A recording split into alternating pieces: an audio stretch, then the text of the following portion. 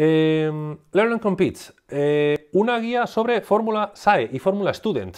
Eh, todos los que nos veis que estáis corriendo la Hyperbaric Challenge, ese magnífico mm, certamen de constructores de coches de inercia, esto es como la Hyperbaric Challenge, pero con coches a motor. Se realiza entre universidades de ingeniería de todo el mundo y lleva muchísimos años. Eh, es una guía para equipos de cómo plantear la construcción y el diseño de su coche, en este caso a motor. Eh, lógicamente hay muchas cosas que no son aplicables, pero muchas otras que sí. Vemos desde el diseño del chasis, de cómo plantearlo. Es muy práctico, eh, va muy al grano, eh, inciden mucho en lograr soluciones simples y efectivas antes de ponerte a leer la manta demasiado, sino lógicamente lograr eh, tus objetivos, primero lograr un coche fiable y que funcione. Eh, muy, muy, muy, basado en la teoría, muy, muy probada, digamos, está muy apoyado teóricamente, pero tiene muchos, eh, muchos consejos interesantes que pueden ser aplicables a coches de inercia.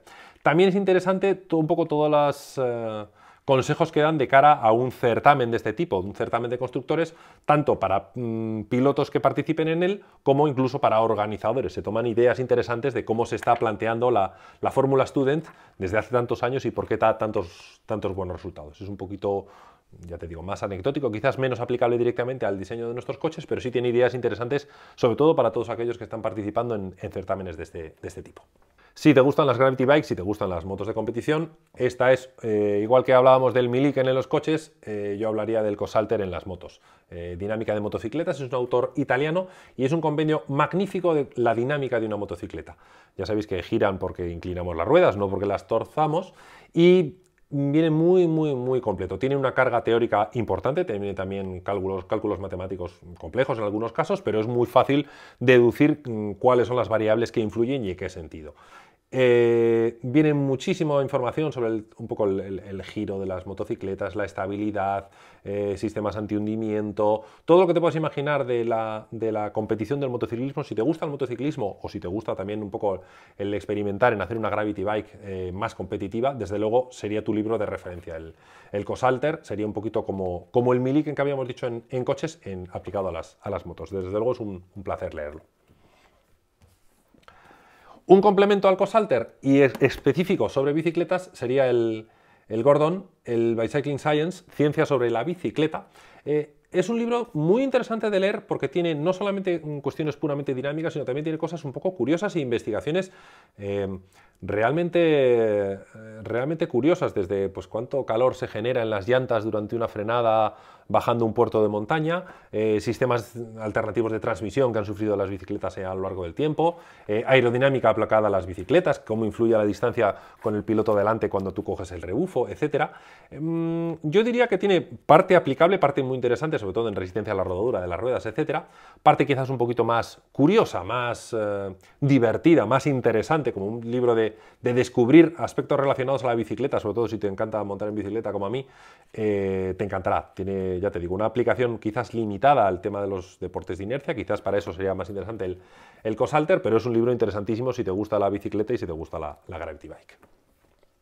Y terminamos con dos libros dedicados a lo que es el, pilotaje. Eh, ya sabéis que hemos hecho ciento y pico vídeos sobre dinámica de coches de inercia, pero también tenemos treinta y tantos vídeos hechos sobre pilotaje de deportes de inercia, que no solamente es cuestión de diseñar el coche, sino de pilotarlo. Eh, yo he resumido un poquito los dos más interesantes, que realmente son magníficos los dos, y con, estos dos libros tienes prácticamente todo hecho.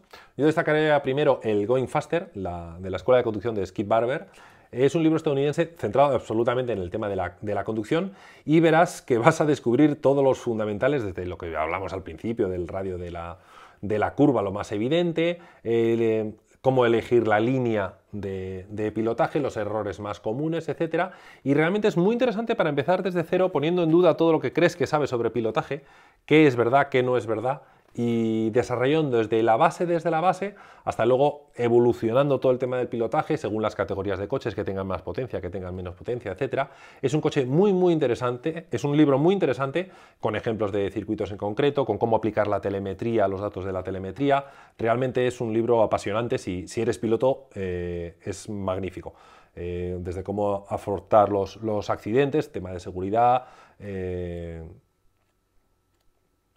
tiene algún capítulo dedicado a la, lluvia, a la, pilotaje en lluvia, las diferencias entre neumáticos de, competición y de calle, etc. Y, una pequeña eh, parte final con dinámica de, automóvil. Es un resumen de, la dinámica del automóvil, porque lógicamente algo tienes que entender si eres piloto eh, de dinámica de automóviles.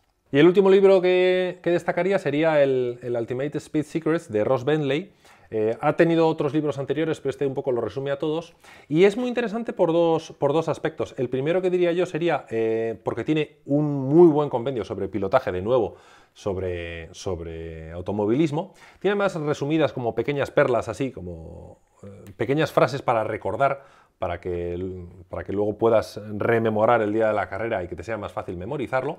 Eh, lo mismo, desde todo el tema del pilotaje, el círculo, el círculo de, tracción, el agarre disponible que tienes para frenar, para torcer, por qué tienes que accionar suavemente el volante, todo lo que tú creías que sabías y que luego te tienes que plantear.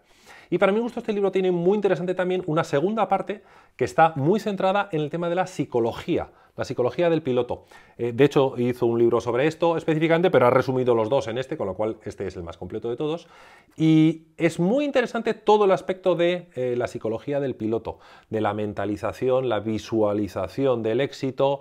Eh, sin duda se trata de uno de los deportes en el cual influye más la psicología del piloto. Si tú te crees que es una cuestión puramente de técnica, te equivocas. hace muchísimo la preparación previa, la visualización, cómo se tiene que pensar durante la carrera, en qué tienes que pensar y en qué no tienes que pensar, cómo tienes que eh, analizar la carrera de cara a la siguiente carrera. Eh, es muy, muy interesante todo el aspecto eh, psicológico para hacerte mejor piloto. Así que nada, con este arsenal tienes material más que de sobra para hacer un, desarrollo muy, muy, muy grande, todo hasta donde quieras llegar, sobre dinámica y, pilotaje de deportes de inercia. Nos vemos en el próximo capítulo.